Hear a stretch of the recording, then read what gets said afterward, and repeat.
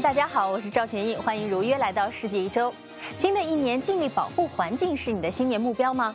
在泰国风光明媚的苏梅岛上的一家酒店，在过去几年来呢，就积极推展绿色计划。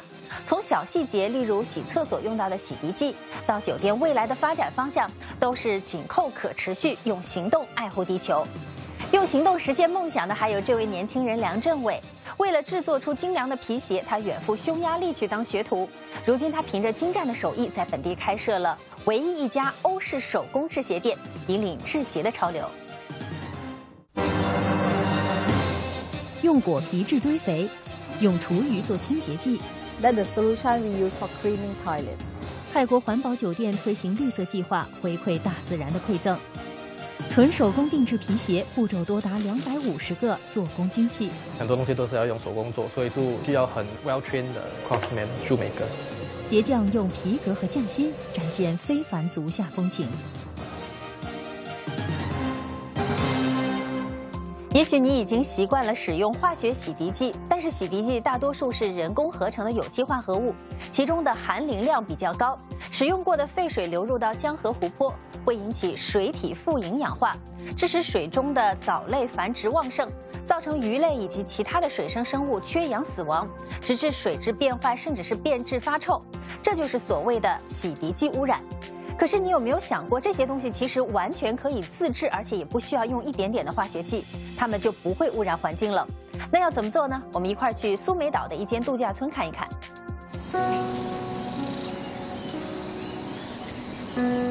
在距离苏梅岛通塞贝度假村五分钟车程，有一个不起眼的小植物园，里面种植了五六十种不同的植物，平常由三名园丁打理。他们不仅要种植这些植物，还要参与度假村的绿色计划。这项绿色计划的负责人告诉我们，他们和专家合作研发，不用任何化学剂，只用园中的植物，就能让园丁们制作出各种日常用品。This is bilimbi. The bilimbi. Yeah, the bilimbi is the southern tree. It's very sour. We use for the cocktails. We plant more in Tongsai. Yeah. So every three months we make the EM solution. That's the solution we use for cleaning toilet. 这类植物的果实因为含有大量的酸性物质，所以可以用来制作清洁剂。将果实浸泡在黑糖水中，加上带有清香的卡菲尔酸橙，这样做出来的效果就和市面上购买的清洁剂一样。Three kilo of leftover vegetable. This is the water with the brown sugar. One kilo of the molasses. Three kilo of the leftover vegetable. Okay. We ferment them in the bottle. Mm, okay. Okay.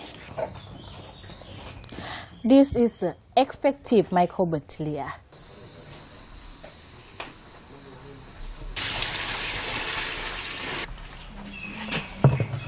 We ferment them. So that one.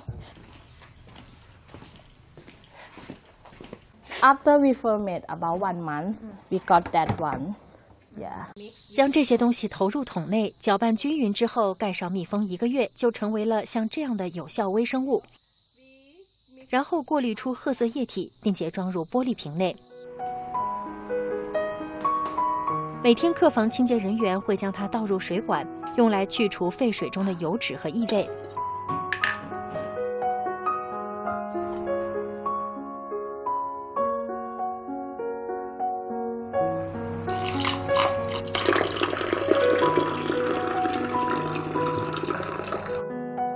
然后这些水被收集到集水池进行过滤，之后水就能循环使用来浇花和清洁等。ก็เวลาเราใช้เคมีใช่ไหมคะมันก็จะมีมือเราเป็นรอยด่างคันอะไรแบบนี้ค่ะ这位清洁人员说：“这种清洁剂虽然是植物做的，但是用起来效果很好。以前工作久了，眼睛会被化学清洁剂刺痛，手也容易皲裂。不过现在都没有这样的问题。另外，度假村的清香剂和驱虫剂也是用这种方法制作出来的。” 小小的植物园就像是一个魔术场一样，调整一下搭配就能出现出不同的产品。当然，植物园本身也是有机运作的，因为他们所使用的肥料也完全是自己生产的。天边亮起晨光，海浪轻抚沙滩，度假村迎来新的一天。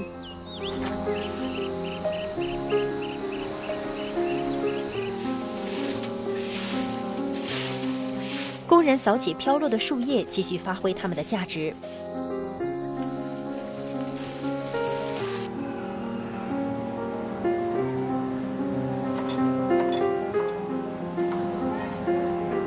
自助餐厅里，精心的水果拼盘唤醒住客的味蕾。可剩余的果皮果肉也不能随意丢弃，它们将被运往有机植物园循环再利用。In Tongsai, we have the three restaurants and one canteen. So every day we have a lot of the leftover food, like the rice, vegetable, pork that we, we cook already. We bring there to make fertilizer. The fertilizer made from the leftover food and the leaf and the grass in Tongsai. Uh-huh. Mm. We cutting first and then bring there, mix it with the oxygen. Mm-hmm. We open air because we need the oxygen for fermenting them.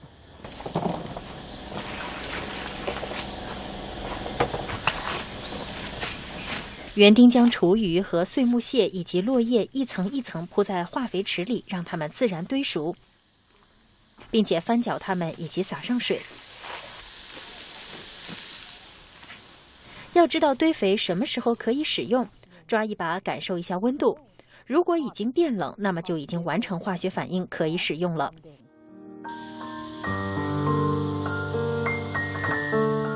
每天生产的化肥足够整个植物园使用。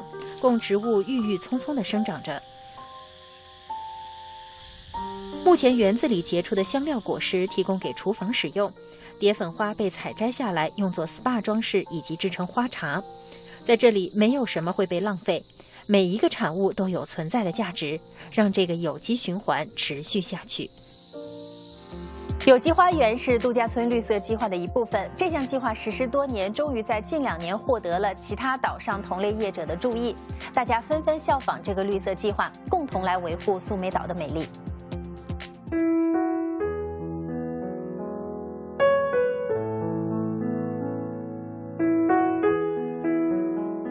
度假村的绿色计划总共分为五个部分，包括垃圾管理、能源管理。减低化学用剂，保护大自然，提高意识。要落实这项计划，必须不分工种、不分阶层，鼓励每一个员工都动员起来。度假村也需要更多的人力，例如安排员工进行垃圾分类。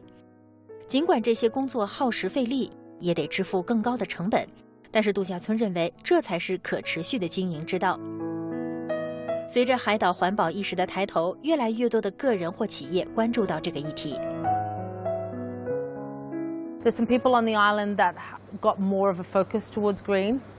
Um, one of the things that we have just done, even today, we welcomed in an, another hotel that want to have a look at our organic garden and look at our whole proposal. Um, we did something with the Thai Hotel Associations where we showed them what we did in December last year. We've had a lot of interest from hotels all over the island that have actually come in and looked at the same presentation of what we did today.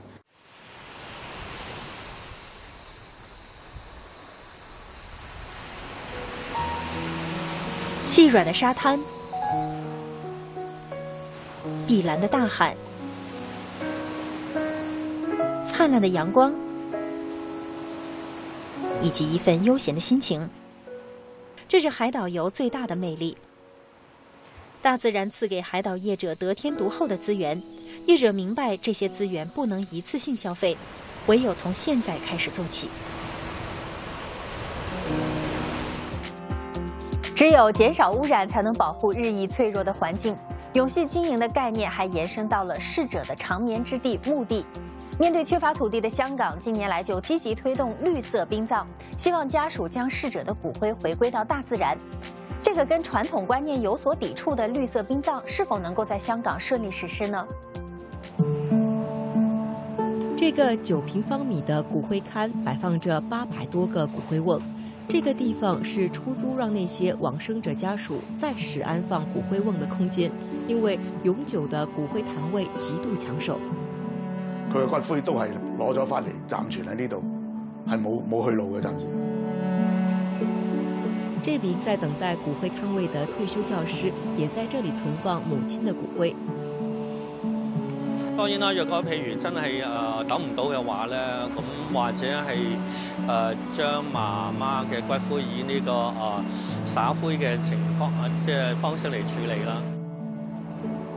然而，很多人认为这样的做法大逆不道，因为中国传统讲究让去世的亲人回归故里，入土为安，以便后代子孙可以祭祀。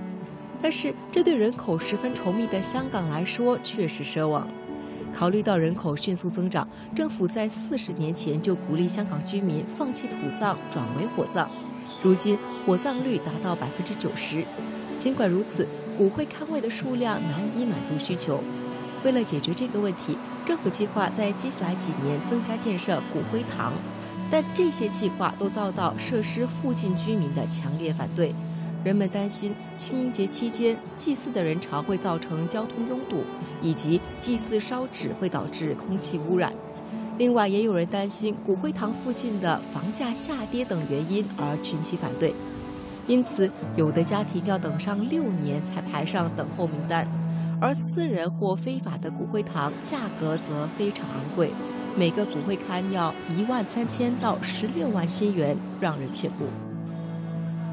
事实上，港府从二零零七年起就着手推广绿色殡葬，力劝公众将亲人的骨灰撒在花园和大海。为了消除公众入土为安的观念，政府人员通过前往老人院宣传回归自然的理念。同时，政府架设了一个纪念网站以代替墓碑。网站设计有一个按钮，点按它就可以给去世的亲人供奉虚拟祭品。但是直到去年，也只有三千五百多人这么做。We do not anticipate that this number will grow exponentially, even if we do a lot of campaigns and and you know promotion. But then we felt that it is important for us to you know put this choice to the people. 纪念死者的方式很多。香港一家公司就提供将逝者的骨灰制成宝石的服务。Uh, the first year, every people, all, everybody say I'm crazy. You cannot, you cannot. By the Chinese, um, especially we are very superstitious, right? 业者自己就将父亲的骨灰做成耳环、项链，佩戴在身上，寄托对父亲的思念，感觉至亲永远陪伴在侧。让往生者永远活在我们的心中，才是对他们最大的尊重。继中东难民潮、伊斯兰国组织威胁之后，中东又出问题了。这回是沙特和伊朗借由什叶派教士尼米尔之死闹得不可开交。一团乱的中东局势，接下来会如何演变？谁能终结各方利益博弈的中东局面？稍后剖析。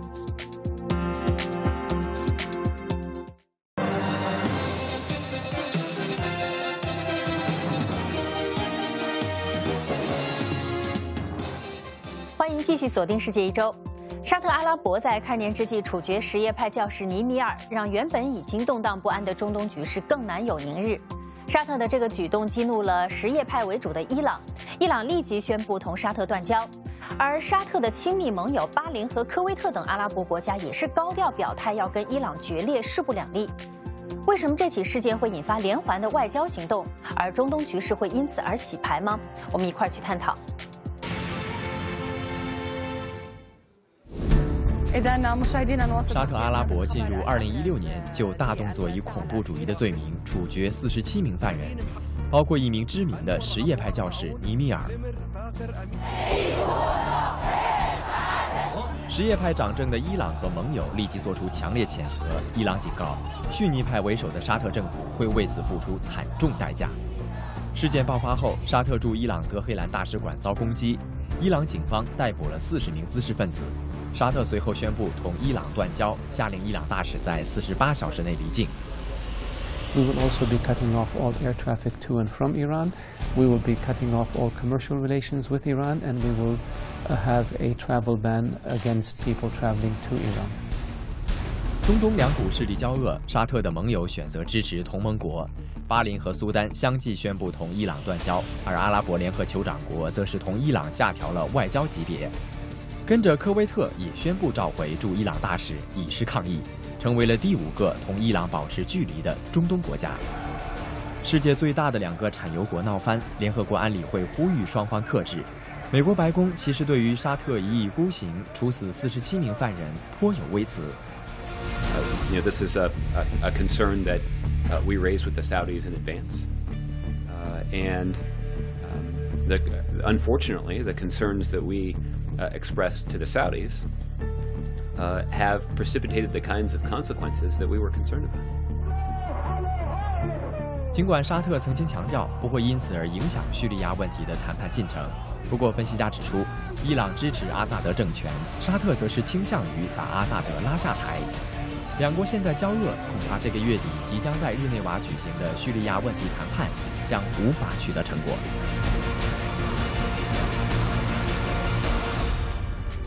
这次的中东危机是因为沙特处决了一名什叶派教士尼米尔而引发的。究竟尼米尔是何方神圣，竟然引发两个中东大国近三十年来最严重的紧张关系？为何一个教士的死会促使各国什叶派回教徒上街抗议，爆发大规模的示威冲突？这个让沙特和伊朗断交的人物究竟有什么来头呢？我们一块儿去了解。沙特内政部在开年的第二天对外宣布，当局已经处决了四十七名恐怖嫌犯，当中包括了知名什叶派教士尼米尔。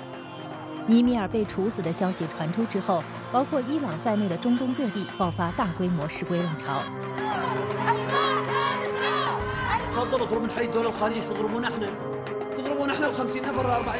五十七岁的尼米尔是沙特什叶派的核心人物。过去二十年来，敢怒敢言的尼米尔多次批评沙特政府不公平对待境内少数的什叶派回教徒，他被视为是争取什叶派利益的代言人。尼米尔在二零一一年还策划阿拉伯之春运动，带领什叶派反抗逊尼派当权的沙特政府，成为中东民主运动的领袖。尽管尼米尔在沙特被视为眼中钉。但他在什叶派为主的伊朗却是拥有英雄般的崇高地位。尼米尔同伊朗政府的关系密切，沙特政府在2012年以煽动骚乱为由逮捕尼米尔，并在两星期前将他处死，搅动了分崩离析的中东格局。沙特阿拉伯和伊朗一直以来都是宿敌，他们分别由逊尼派和什叶派掌权，两国之间的纠葛超过一千四百年。既是政治的，其实更大程度是宗教派别的斗争。沙特阿拉伯的人口有三千多万，其中什叶派只占了百分之十，百分之九十是逊尼派。拥有七千八百多万人口的伊朗则相反，什叶派人口高达百分之九十，而逊尼派少过一成。在公元六三二年，因为回教先知穆罕默德去世，没有指定下一任继承者而分裂成不同教派。在全球中，哪些国家是信奉逊尼，哪些国家是什叶派主导的呢？什叶派信仰国家有伊朗、伊拉克、巴林、叙利亚和阿富汗等国。逊尼派占全球十五亿回教徒中的百分之八十五。逊尼派回教徒分布在沙特阿拉伯、阿联酋、也门。土耳其、巴基斯坦、马来西亚和印尼，逊尼和什叶这两个教派在教义等观点上存在很大的分歧，多年来冲突不断。沙特处决什叶派教士引发的外交风波越演越烈，伊朗短短两个星期连续失去了沙特阿拉伯和巴林五个邦交国，这相信是沙特和伊朗近三十年来两国关系最糟糕的时刻。有分析指出，这两个海湾大国的断交就是中东版的美苏冷战。事实上，这对宿敌的外交关系一直都是磕磕碰碰，重复着和好又交恶的戏码。沙特和伊朗在一九七九年建交，在一九八七年，沙特的回教圣地麦加发生暴动，造成四百多人丢命，当中大部分是伊朗朝圣者。这起震惊全球的血腥暴动让海湾局势骤然紧张。隔年，一九八八年，沙特和伊朗宣布断交。两国在一九九一年恢复邦交。过后，沙特和伊朗的关系逐渐恢复，特别是温和派的伊朗前总统哈塔米上台后，两国关系进一步好转。二零零零年，两国仍有政治交流，但沙特对于伊朗发展核武器感到忧虑，开始对立。在二零一一年叙利亚战争爆发后，两国关系更为分裂。沙特支持叙利亚境内的逊尼派叛军，而伊朗则支持什叶派的阿萨德政权。而阿拉伯之春也让沙伊两国再度杠上，因分别支持不同宗派而水火不容。长时间的对峙，最后在沙特处死阿拉伯之春的什叶派教士尼米尔，而引爆了这颗中东炸弹。长期的怨怼与猜忌，迫使中东沙特阿拉伯与伊朗撕破脸，走上了对抗舞台。那为什么好端端的沙特会突然拿什叶派教士尼米尔开刀，故意激怒军事强国伊朗呢？而沙特和伊朗的鹬蚌相争，最终谁坐收了渔翁之利？这两大产油国的恶斗又如何影响油价和全球市场？沙特处决什叶派教士尼米尔，怒火中烧的伊朗群众围攻沙特驻伊朗大使馆后所引发的外交风波是伊朗始料不及的。不少媒体评论都认为，伊朗这回中了沙特所设下的圈套，让原本想要摆脱国际制裁、重新站上国际舞台的伊朗再度陷入孤立。究竟为什么沙特要顶住冒犯全球什叶派回教徒的危险，执意要跟伊朗撕破脸？最主要的原因是亲密盟友美国跟伊朗日趋靠拢，这让沙特感到十分焦虑。特别是伊朗在去年七月同西方列强六国达成了历史性核问题协议，这对于跟伊朗一直争夺霸权的沙特来说，如果解除制裁，伊朗的石油销售收入将扩大，进而提升资金实力，构成严重威胁。都想做中东老大的沙特和伊朗持续恶斗，两国日益上升的敌意让中东地区更为复杂，这使得通过和谈解决叙利亚内战的前景变得更加暗淡。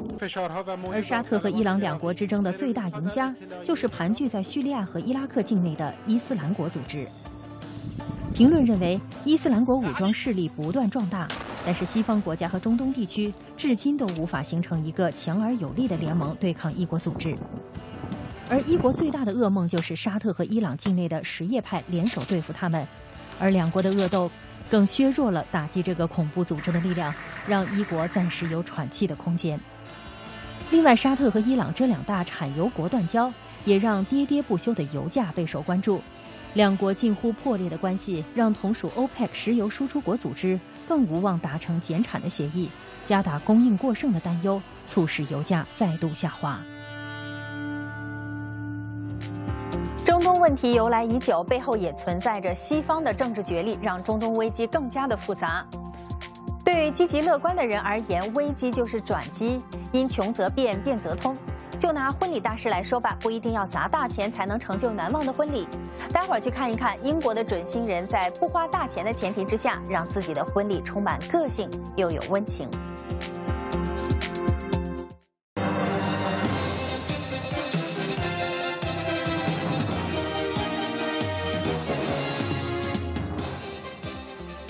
回到世界一周。中国电子商务热潮日益炙热，现在呢，就连农村的村民也开始上网淘宝了。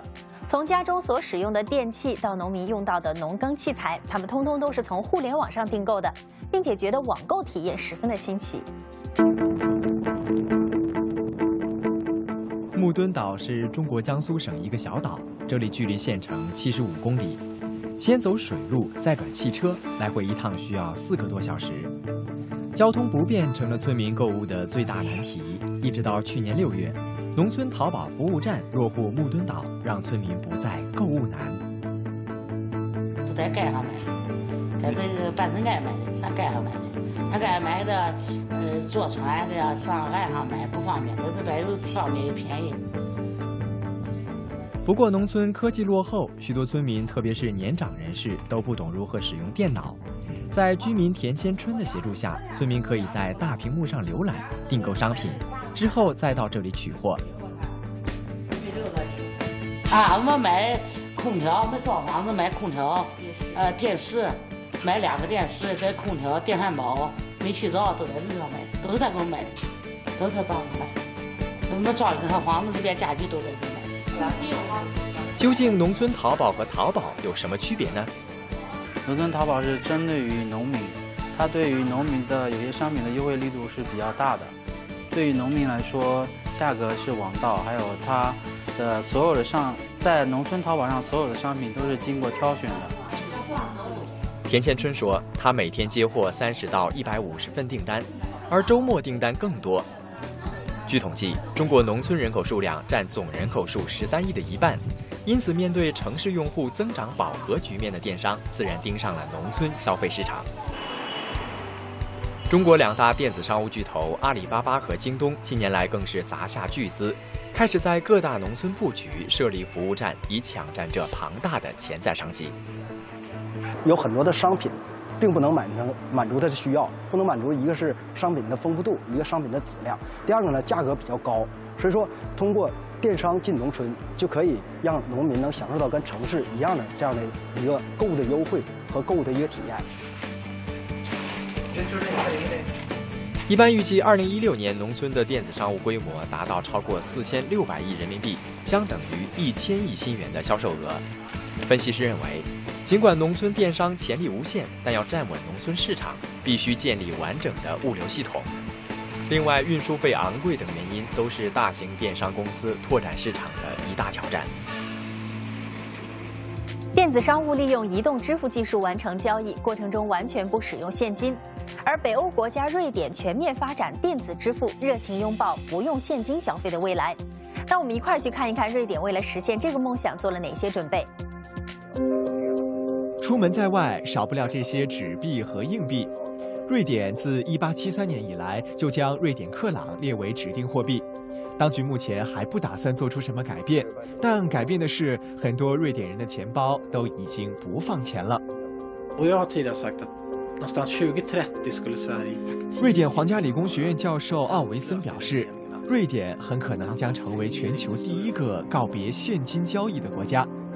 以前他总以为这可能要等到二零三零年左右才会发生，但是从过去两年的发展趋势来看，告别现金可能在未来十年内甚至更早发生。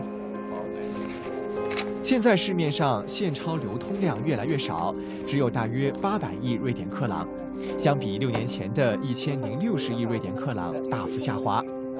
现金交易量越来越少，其中一个主要原因是信用卡和行动支付的普及。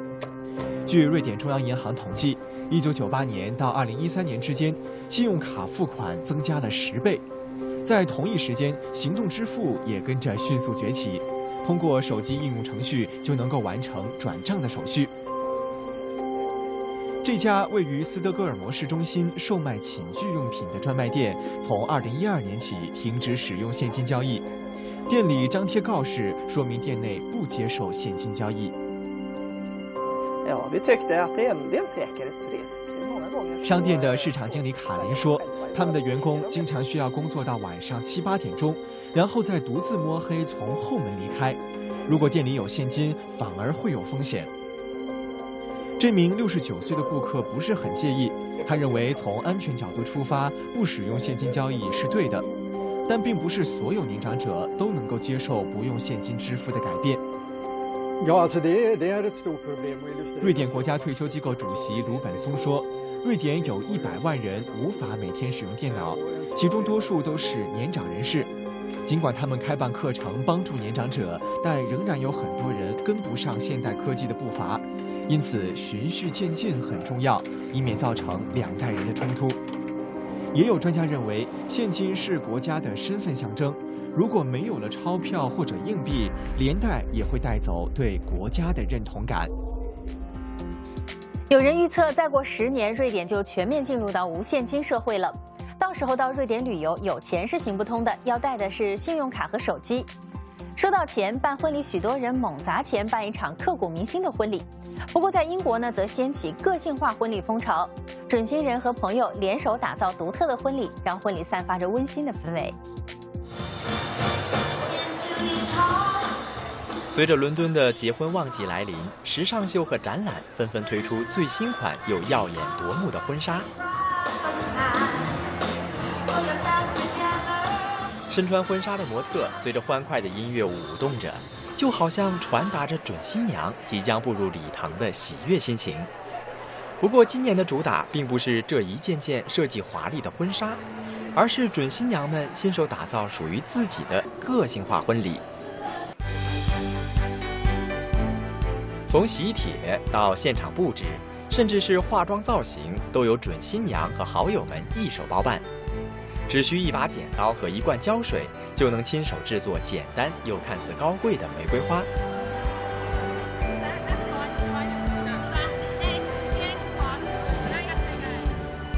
除此之外，准新娘还特地上手工课，为筹备婚礼做准备。I've been quite interested in lot of the details myself with my bridesmaids or my friends, just so to save like money. A lot of people want to make their wedding unique, which means they're making their own stuff, so it's different from what everyone's done before. 许多准新娘也通过网络教学以及出席展览会学习化妆技巧，好在大喜之日给自己画的美美的。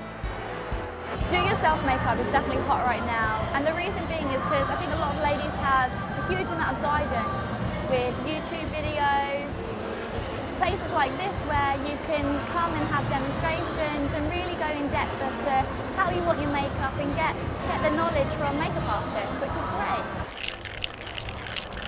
Martini should be a very punchy drink.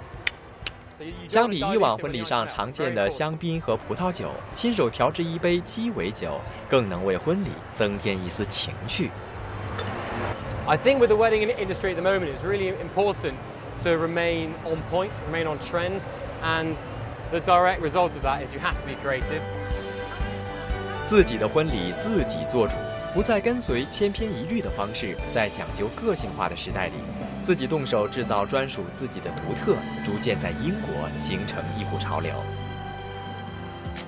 像这样简单的举办婚礼，不失隆重。最重要的是，准新人按照自己的喜好和感觉完成终生大事，完全没有负担和疲累。有人说，婚姻就像是一双鞋，最重要的呢是合脚。合脚的鞋不容易买到，就有人专门去定制。稍后我们一块去看一看鞋匠如何制作出舒服又有设计感的皮鞋。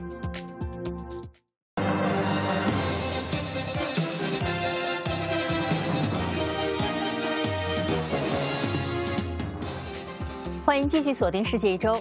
无论是白领人士还是时尚达人，鞋子可不只是穿在脚上方便行动的。拥有一双得体而制作精良的鞋子，绝对会让你的整体形象加分不少。而穿着舒服，更是我们双脚唯一的诉求。如果想要选择一双宠爱自己脚的鞋，恐怕只有通过手工定制才能得到最大的满足。在本地唯一一间的欧式手工制鞋店，专门就为顾客制作出精美别致的手工皮鞋。专业鞋匠是如何施展魔力制作出一双双的皮鞋呢？拥有多款漂亮昂贵的鞋子，并不是女性的专利。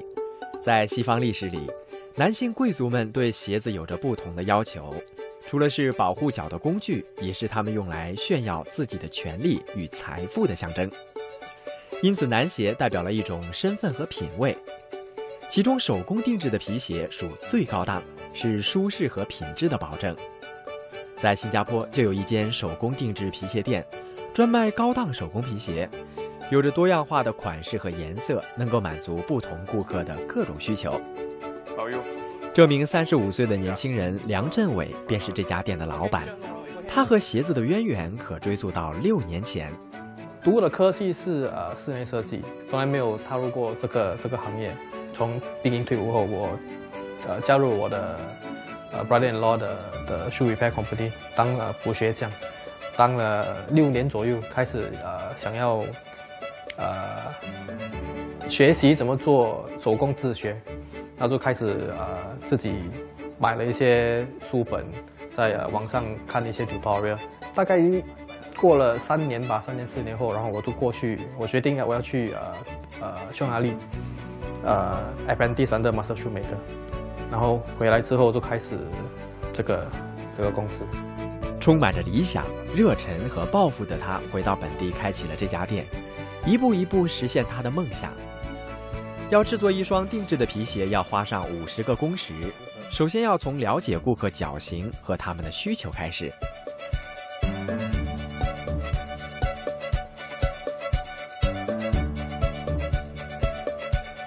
Okay, you're done. Okay, so this time around, what are you are thinking of getting? Some kind of more advanced and uh, fashionista type of shoes. Okay. I think in total, this pair would be about the 30th pair of uh, Croc that I have.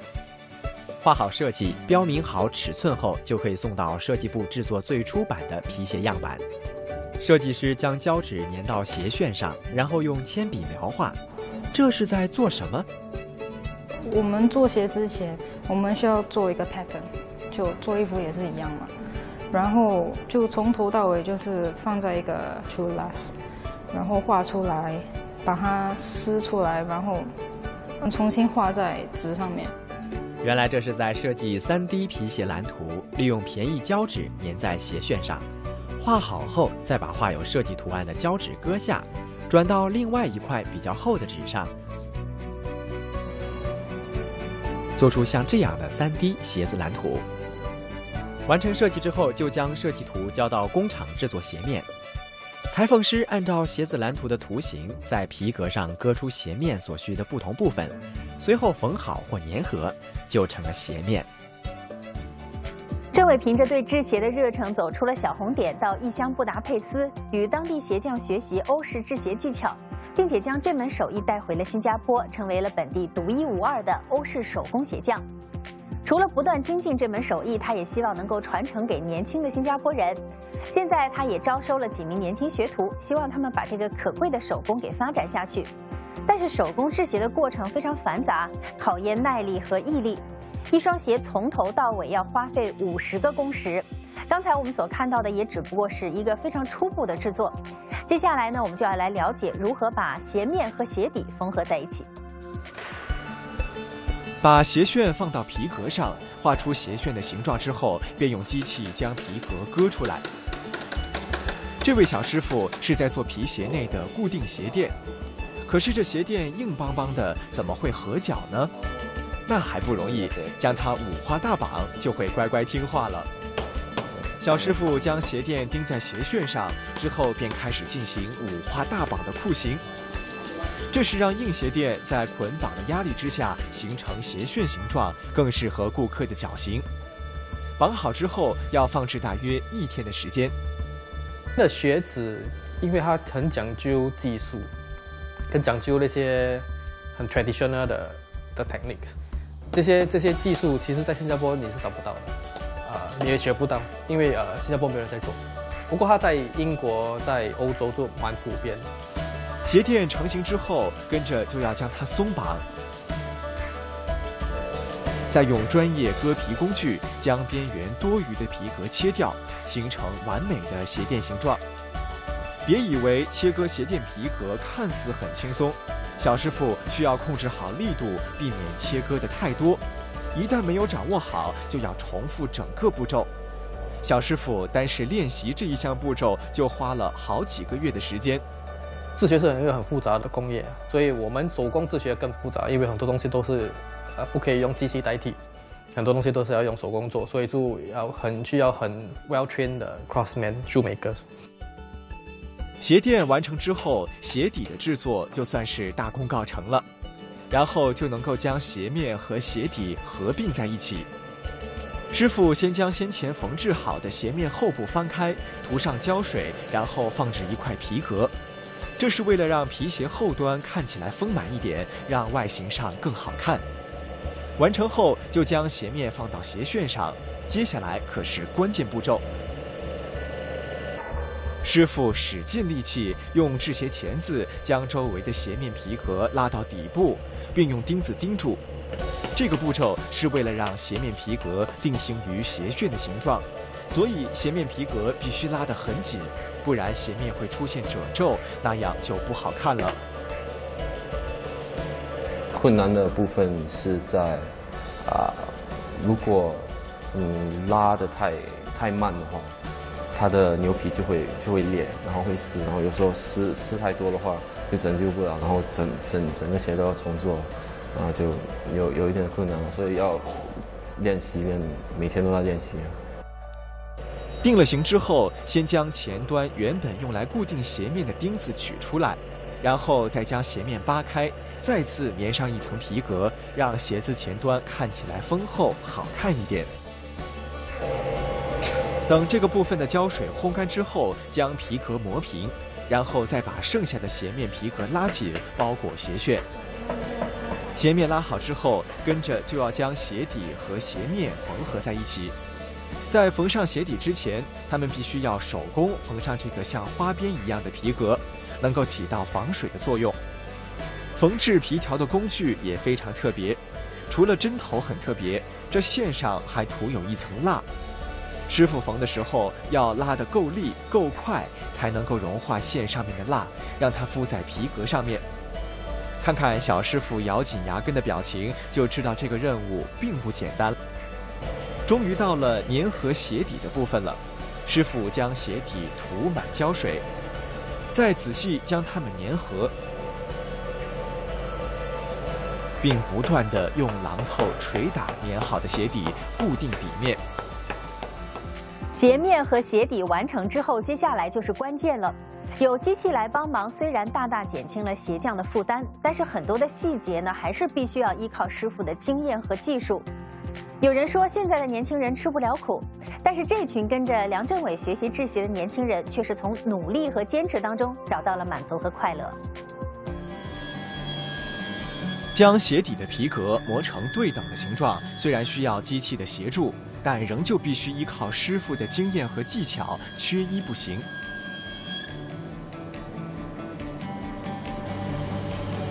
要确保皮鞋鞋面和鞋底牢固粘合，必须要用机器将它们缝起来。但其实这里还有一个秘密武器。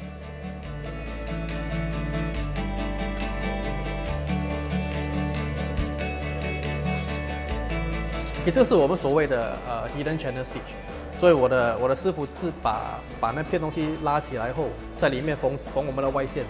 我缝好外线后，我们再把这这片东西粘回去，说的我们的我们的外线在下面的底部是看不到的。这个是比较复杂，比较就多多一个步骤，不过做些做出来我们的我们的鞋底会比较漂亮。最后就是上色和在鞋底刻出图案，磨亮之后就大功告成了。其实，但是这些镜头实在无法完完整整地呈现所有的细节，因为整个制鞋的过程非常繁杂，一共有大约两百五十个步骤。这么耗时耗力的工作，为什么年纪轻轻的郑伟对此如此执着呢？呃，手工制鞋是一个很很古老的一个行业，有很多历史。刚开始在新加坡做制制鞋匠是没有前途的。呃，我自己的。不要说呃，外面外外面的人怎怎么看我自己的呃朋友啊，自己的家家属，对有些人都会跟我说，为什么你要去花这个钱花这个时间去去外国学，呃，这个技能回来新加坡可以赚吃吗？最重要的新加坡人就是这样。那当那当时我真的是没有想过说，呃，回来要要用这个技术，用这个技能来来开这个公司来赚钱。当时真的就是因为要要提升自己的技能，所以我就想说，既然我要做，我就要一心一意做下去。做到真的不可以了，才才来打算。政委现在店铺里有几位学徒，之前我们看到的做鞋小师傅就是其中一位。今年才二十一岁的他，原先也从事与皮革有关的手工行业，在朋友的介绍之下，成为了政委的学徒。我在这里学了，不只是学做做鞋是吧？就学了很多 patience、discipline 这些嗯。Qualities that I've learned here. It's qualities that I can bring on later in life. 刚开始的时候是蛮累的，就呃，你刚才在外面看我，不是用那个机器，然后把把那个皮就给切出来。我第一天来的时候，呃，我的师傅叫我切啊切差不多七十七十个。我刚开始连连拉那个东西也拉不动，因为它它是全都是靠手工啊。我觉得是值得啊，这种东西。呃，晚上回到家一整天做这种很吃力的工作，也也睡得蛮舒服的。对。他也表示，虽然当制鞋学徒辛苦，而且收入不多，但是他认为制鞋这份单纯的快乐让他无法离开。和以前大品牌受到无限追捧相比，现在有越来越多的人爱上了那些少有人知道，但是品质不俗的手工制作，因为这些制作多了一份独一无二，也多了一份人情味儿。好，非常感谢您收看这一期的世界一周。那么下一周同一时间，我们再见吧。